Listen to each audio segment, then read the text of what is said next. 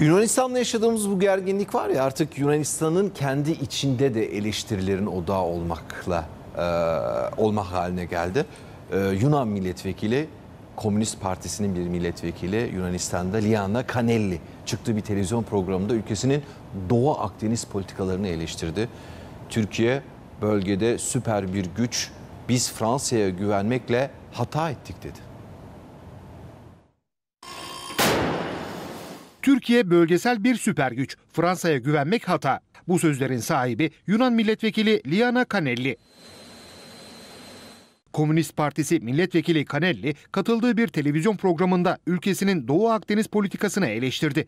Yunan vekil Türkiye'nin bölgesel bir süper güç olduğunu söyledi. Sunuculardan tepki gelince İncirlik'teki nükleer silahları unutuyorsun galiba dedi. υπερδύναμη στην περιοχή. Είναι υπερδύναμη εδώ Βέβαια. μια διαλυμένη Το, οικονομία. το ΝΑΤΟ, το ΝΑΤΟ την έχει κάνει Ο υπερδύναμη. Ερντογάν, ο οποίος ποτέ το δεν ΝΑΤΟ, έχει το ΝΑΤΟ. βρεθεί Άκουσα να δεις. αντίπαλος με Μιλάτε για την τακτικό οικονομία και στρατόπος. ξεχνάτε τα πυρηνικά στο Incirlik. Kanelli, Yunanistan'ın Fransa'ya güvenmekle hata ettiğini savundu. Kimse bizi sevdiği için Yunanistan'a gelmiyor. Libya'ya bile giderler ama buraya gelmezler, dedi. Εδώ, Στη Λιβύη θα πάει, στα νησιά της Λιβύης θα πάει.